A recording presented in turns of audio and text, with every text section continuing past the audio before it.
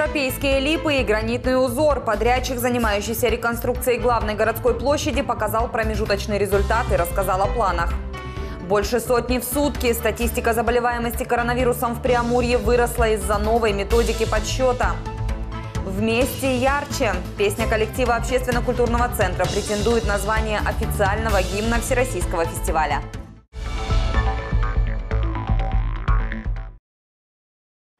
Об этом и многом другом в материалах наших корреспондентов в эфире программа «Город». Здравствуйте. Центральную площадь Благовещенска после реконструкции украсят непривычные для областного центра деревья. Высадить липы по собственной инициативе решил подрядчик весной. К зиме же обещают установить в месте отдыха малые архитектурные формы и закончить работы по освещению. Мэр Олег Мамеев проверил, укладываются ли строители в график. Кристина Слепцова продолжит тему.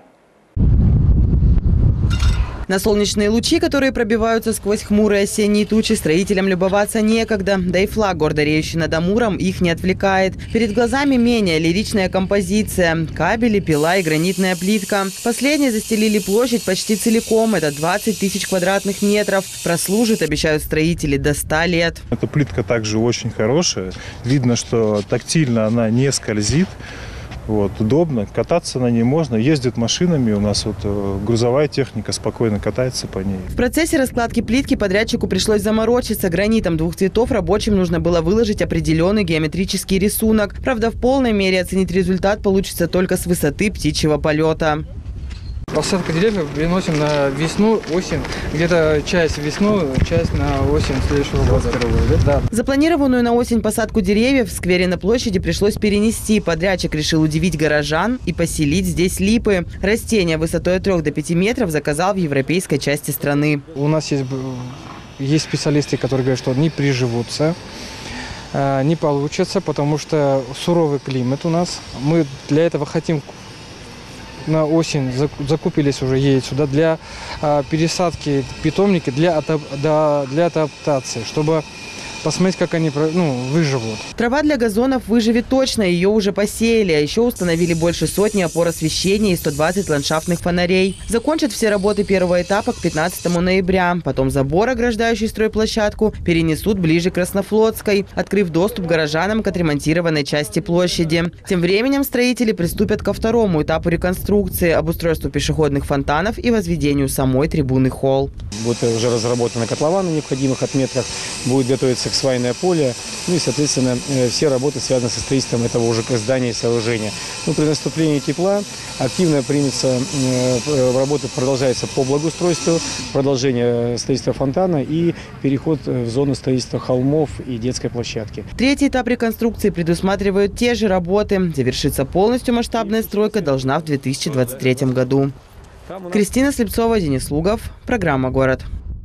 На участке улицы Ленина от Шимановского до Шевченко со дня на день планируют открыть проезд. Дорожную одежду подрядчик уложил на протяжении всего отрезка магистрали.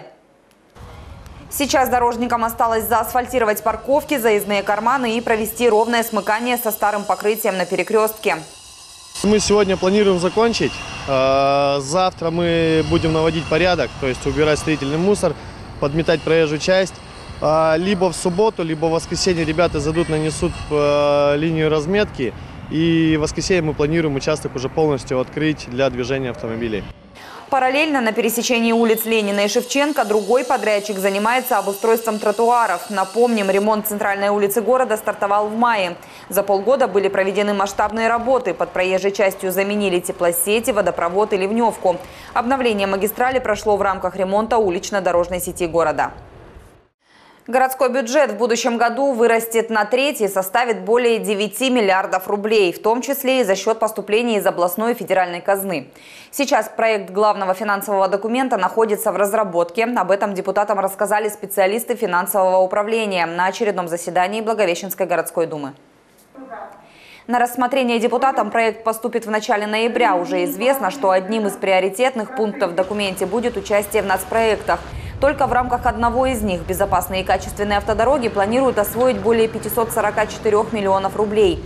А свыше 50% всех средств городской казны по традиции пойдет на выполнение социальных обязательств. Конечно, это много вопросов над бюджетом, но самое главное, что бюджет мы также будем сохранять, как бы скажем, социально направленным. Это именно будет нести этот бюджет именно социальную нагрузку. Это, это образование, это культура, это спорт. Ну и, конечно, общая жизнь нашего города. Это, это и дороги, это и благоустройство.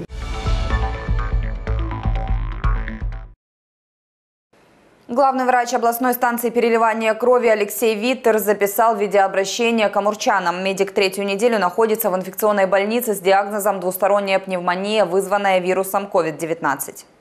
Течение данного заболевания достаточно серьезное. Особенностью его течения, по моим собственным ощущениям, является волнообразный характер и период заболевания. Э, зачастую мнимое хорошее состояние, так будем говорить, мнимое, сменяется резким ухудшением его, нарастанием всех симптомов. Одышка, слабость, температура.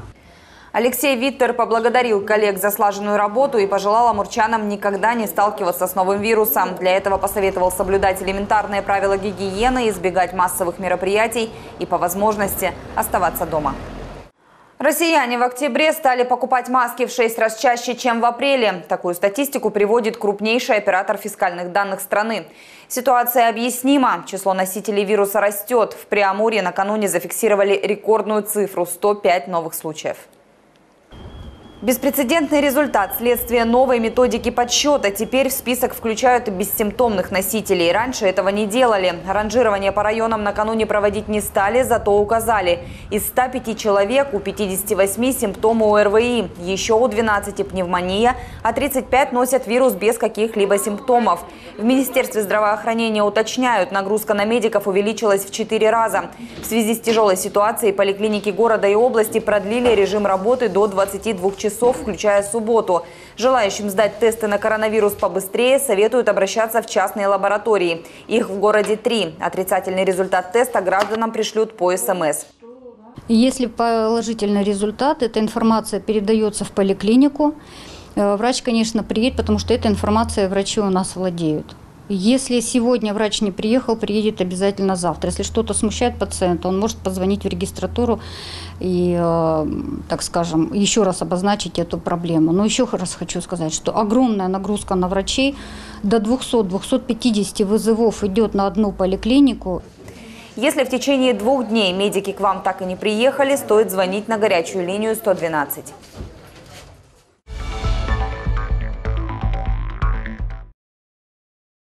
Новогоднему фейерверку в Благовещенске быть. Залпы горожане традиционно услышат 31 декабря. На проведение развлекательной программы речи пока не идет. Решение примут ближе к празднику, в зависимости от ситуации с заболеваемостью в городе. Несмотря на эпидобстановку, праздничное настроение благовещенцам все же обещают. Площадок для отдыха будет несколько. На центральной площади установят елку, фигуры Деда Мороза и Снегурочки и 12 ледовых фигур с подсветкой.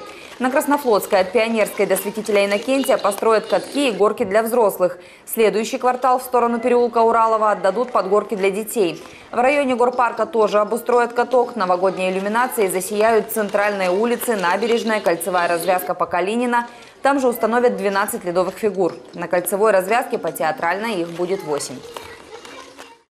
Амурский театр «Кукол» порадовал своего зрителя еще одной премьерой. В новом сезоне на сцену вернулась обновленная постановка «Красная шапочка». Это последняя работа главного режиссера театра Петра Козица. Что изменилось в спектакле, который амурский зритель увидел впервые больше 20 лет назад, узнала наша съемочная группа. Она посмотрела сказку.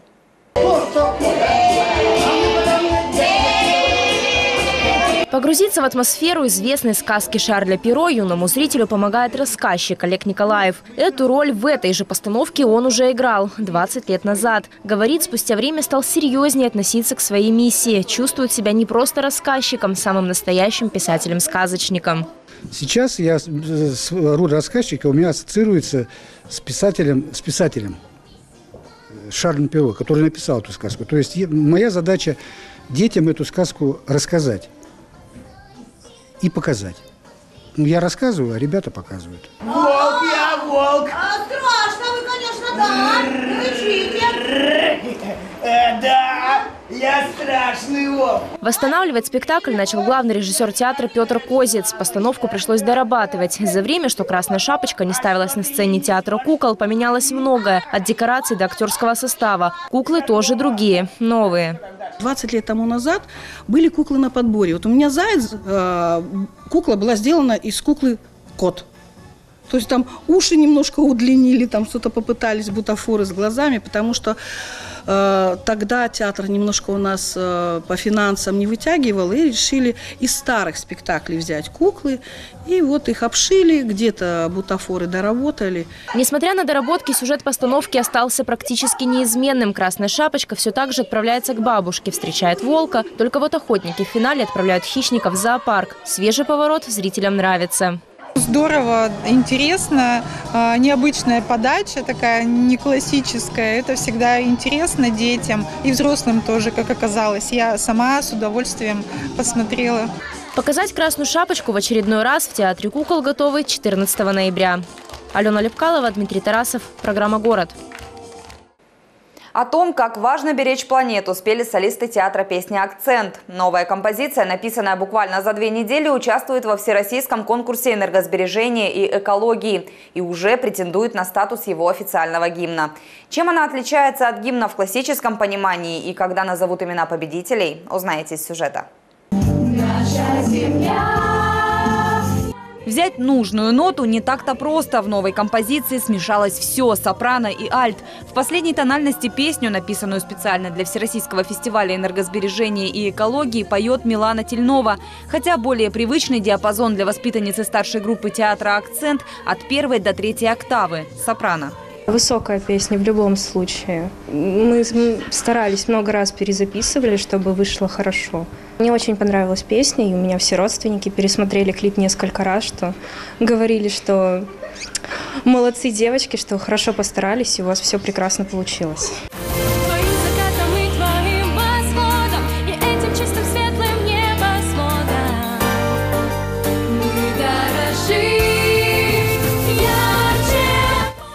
На новую песню, автором которой стала Ирина Дариенко, уже даже клип сняли. Композиция вышла в финал конкурса. Теперь у нее есть все шансы стать новой официальной песней Всероссийского фестиваля «Вместе ярче-2020». Мне просто хочется, чтобы, ну, как и, наверное, всем нормальным людям, чтобы дети, наше будущее, да, жили в хорошем, в хорошей экологической ситуации, и, в принципе, росли э, со здоровым сознанием, с ответственностью за будущее своей страны и Э, себя самих, да, то есть чтобы бережно относились э, к окружающей среде и вообще, чтобы умели дружить. А еще авторы не хотели, чтобы мелодия напоминала гимн никакого маршевого размера. У нас есть э, очень такой ну, яркий пример – это гимн Сочинской Олимпиады. Он был очень современно сделан, ну и поэтому он как-то и прошел. То есть люди не восприняли это. Мы решили какую-то золотую середину с Ириной выявить и написали как говорится, просто песню. Станет ли эта композиция лучшей из десяти прошедших финал, объявят в конце декабря. Пока у горожан есть возможность поддержать коллектив ОКЦ количеством просмотров на YouTube-канале «Вместе ярче-2020». Анжелика Павлова, Денис Лугов. Программа «Город». Эта информация завершает новостной выпуск, а после прогноза погоды вас ждут ответы на самые интересные вопросы горожан в традиционной рубрике «Телесправочник». Я же с вами прощаюсь и напоминаю, присылайте свои истории, фото, видео на наш WhatsApp, и они станут новостями в программе «Город». Всего вам доброго, увидимся в эфире.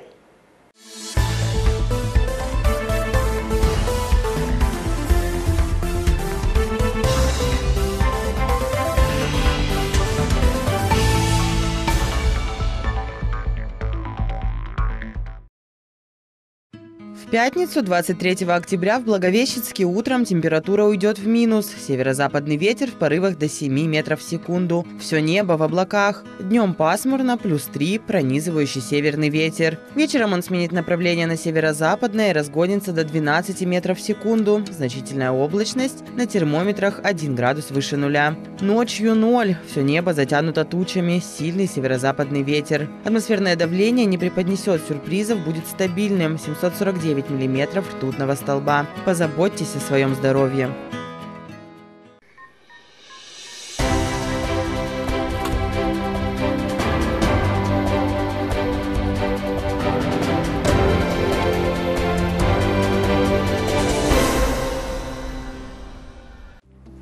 Что делать, если работодатель не выплатил денежную компенсацию за неиспользованный отпуск при увольнении? И что означает выражение «после дождичка в четверг»? На эти и другие вопросы ответит телесправочник в студии Алена Лепкалова. Здравствуйте! Первым в редакцию обратился Артем Скворцов. Благовещенца интересует, должен ли работодатель оплатить сотруднику день, отведенный для прохождения диспансеризации. В соответствии с действующим трудовым законодательством работодатель обязан предоставить оплачиваемый выходной день для прохождения диспансеризации. Если гражданин э, является пенсионером или предпенсионного возраста, то работодатель ему предоставляет два рабочих оплачиваемых выходных дня для прохождения профилактических мероприятий, то есть диспансеризации. Обнаружила в почтовом ящике листовку с требованием как можно скорее установить фильтры на воду. Это случайно не происки мошенников? Обеспокоена Ольга Проскурякова. Если вам предложили установить, например, фильтр на воду, то это исключительно является инициативой самого потребителя, и никаких обязанностей э, по этому поводу не существует. Более того, мы не советуем этого делать по простой причине – вода подается питьевого качества.